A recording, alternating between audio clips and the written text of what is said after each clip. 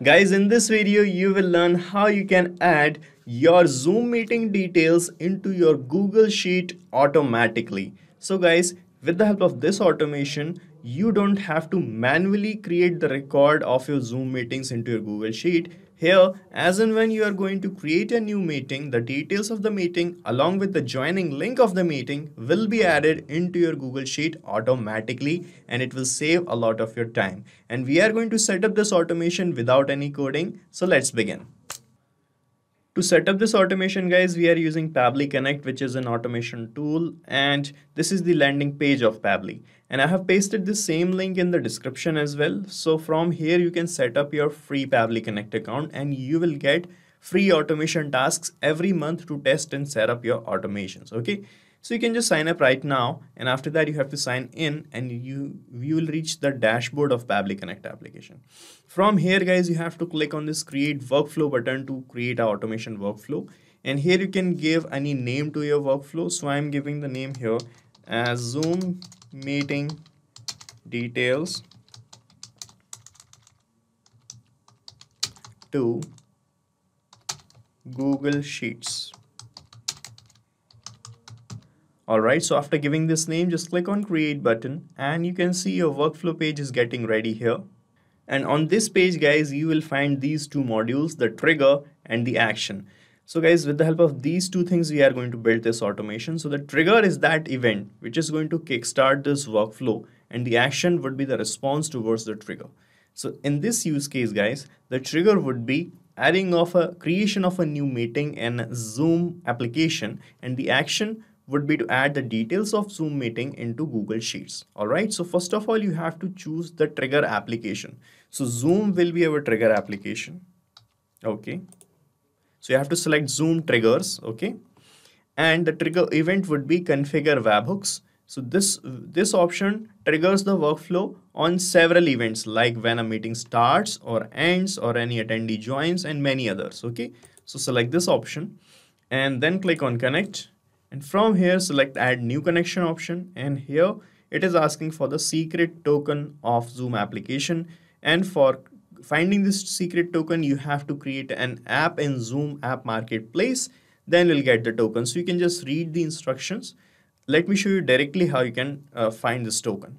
So guys uh, this is my zoom meeting applications dashboard. And here when you scroll down here on the left hand side panel you will find this advanced option click on it and under advanced option you will find this app marketplace. Click on app marketplace and guys from here you will find this develop option okay on the top right corner. From here click on build app and here you have to create an application. And for that you have to select this webhook only application okay? So click on create in the webhook only tab. And here you can give any name to this uh, application. So i am giving the name as testing app? Okay. Then click on create. And here you have to provide the basic information of your company. So after filling this information guys you need to scroll down and click on continue here. And you will reach the feature section of this uh, webhook application that you are creating. And here you will find the secret token. So you just have to copy this token and you have to paste it here in this field and then click on save and you'll be connected with zoom like this. Okay so we are connected and here it has given us this webhook url now guys you have to add this webhook url inside the same app that you are creating and then we are going to uh, complete this connection. Okay so here guys you can see in this app marketplace here we have uh, got we got this secret token and here we have this event subscriptions option so you have to toggle this event subscription button to on and here you have to add an event subscription. So here basically you have to select that event which is going to trigger the workflow. Okay. So for that just click on this add subscription button. Here you can give a subscription's name. So I'm giving the name as test sub. Okay. And here in this event notification endpoint URL field, you have to paste the webhook URL that you got in your workflow. So just copy this webhook URL from here and paste this URL here. in this event endpoint URL field. And now you have to click on this validate button to validate the webhook URL. So first of all, go back to the workflow and here click on save and send test request button and it will start showing waiting for the webhook connections response. Okay. Now come back to the app creation page and from here click on validate button. So you can see the webhook url is validated. Now you have to add the event on which you want to trigger the workflow or send the data from zoom to your workflow okay? So click on add events button. And here if we have all these events regarding to basic regarding to various functions of zoom like creation of webinar recording zoom rooms user we have many options here for now, we are going to select this meeting option because we want to send the details of the meeting from Zoom to our workflow. So select this meeting option and from here you can see under meetings we have all these options as well. So from here I'm going to select this meeting has been created option. Check this box meeting has been created. Now whenever a new meeting is going to create the workflow is going to trigger. Okay.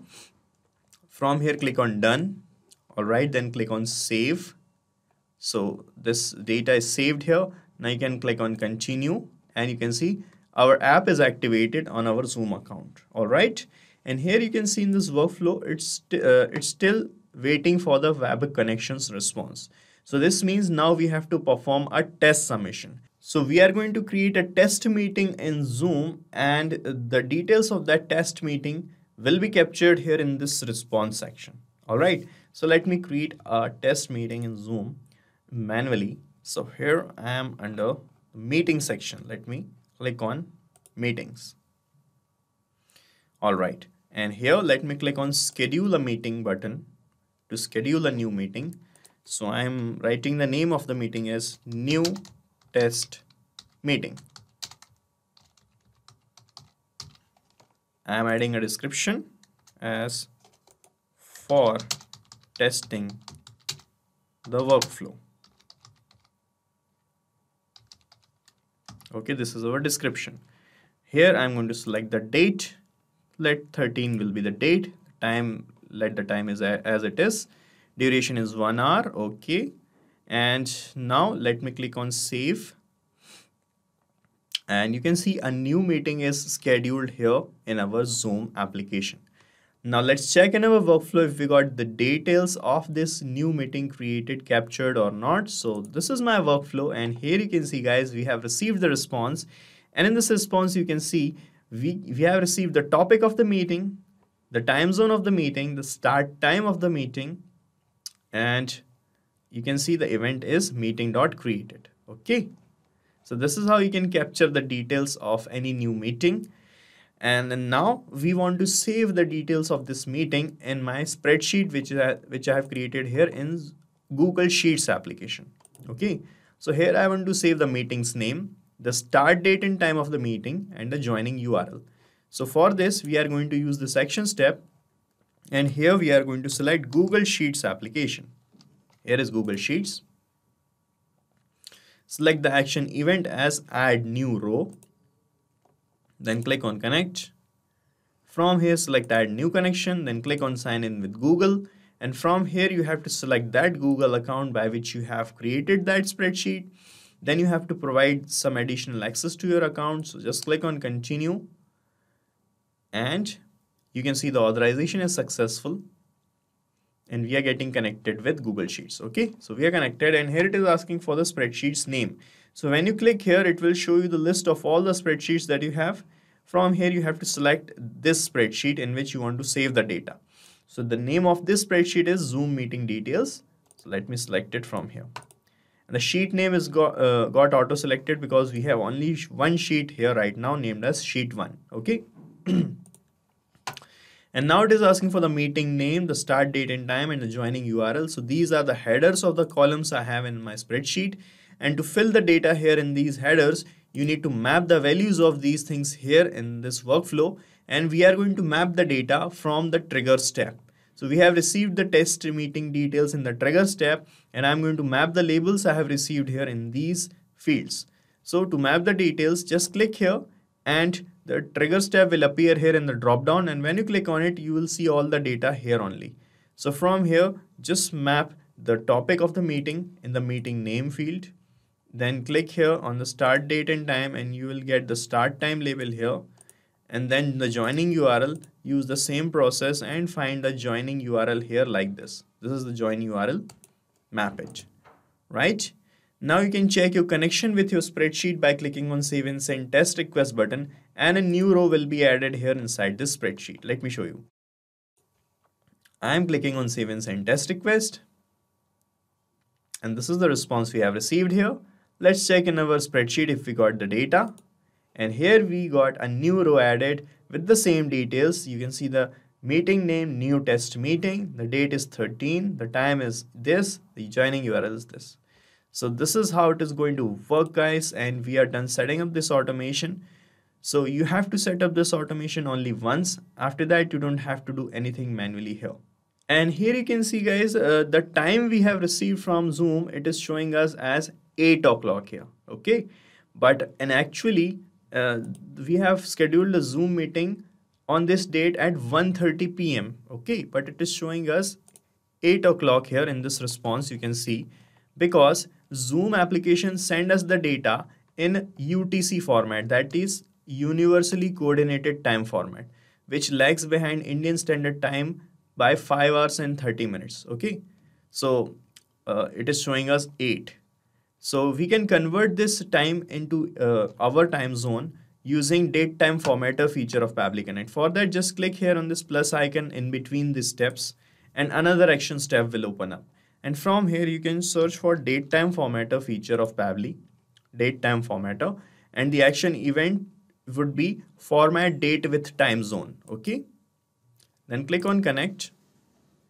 And here it is asking which date you want to change the format of. So I'm going to map this label I have received here, the start time label. Okay. Just click here and from the zoom step, map the start time label and here it is asking from which you, format you want to change so the format is as as it is you can see YYMMDD and a T in between then hours and minutes and seconds. This is the same format already selected here. No need to change anything here. And I want to uh, if you want to save the date in this same format you can keep the format as it is or you can select the format as you want. I am keeping it as it is for now. Okay?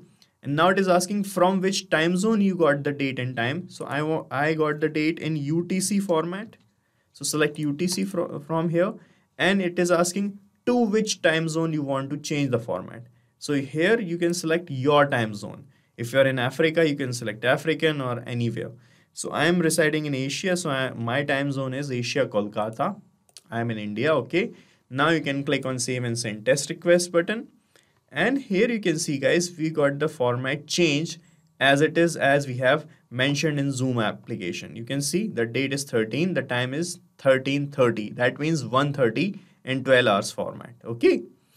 Now we got the correct date and time. Now we can paste this label this result label in this step okay? For that you just have to click here and just remove this uh, already mapped date and time. And from the second step map this result label like this okay? Right now you can click on save and send test request again. Let me remove this data from here. All right. And here let me click on save and send test request one more time. All right let's check in our spreadsheet. Now we got the correct data you can see. 1330 is here. So this is how it is going to work and you have to set up this automation only once guys. After that you don't have to do anything manually in the workflow.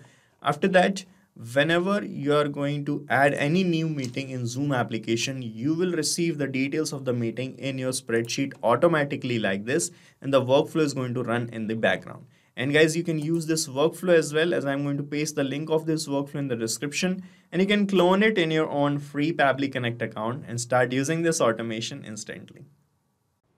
Guys, thank you so much for watching our video and please, please let us know how our automation ideas are helping you in the comment section.